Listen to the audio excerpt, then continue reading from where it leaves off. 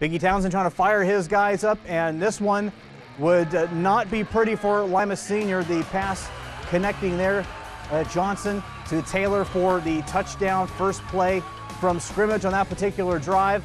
Later on, we got another uh, drive here connecting once again. Johnson, another touchdown pass, and some action here from Lima Senior. Kate Cameron with a couple of shifty moves, but really too much Fremont Ross too often. Final score in this one, Fremont Ross with the 42-6 victory over the Spartans tonight.